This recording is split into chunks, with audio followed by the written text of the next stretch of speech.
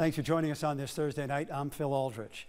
Today, the South Dakota Department of Corrections and the Attorney General's office are reviewing the details of what led to Wednesday night's unrest at the state penitentiary in Sioux Falls. One correctional officer was rendered unconscious by an inmate in the altercation.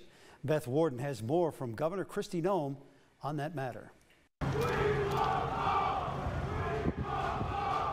Governor Noem brings clarity to why the messaging and calling services were disabled. There's an ongoing investigation as to how those tablets were being used. There still are options to make calls using hallway payphones. The prisoners are still able to make phone calls and they are still able to write letters and have communication with families. So we made sure that all of that was maintained and sustained while that investigation goes on.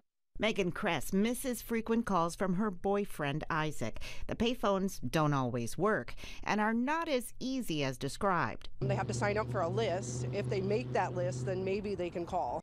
This correctional officer just left for another job. You get officers that are overworked and you know they're they're getting tired and they're getting stressed out. Noem voices hope for inmates. Get a skill and a trade while they're there so that when they come out of incarceration, they have the chance to provide for their families again.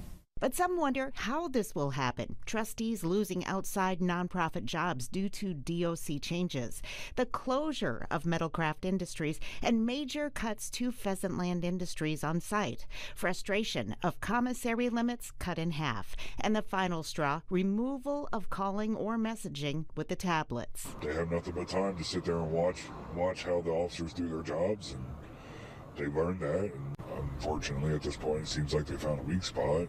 Will the tablets be returned? We are going to find out if it's possible to give tablets to these prisoners and not have them be used for nefarious reasons. In Sioux Falls, Beth Warden, Dakota News Now.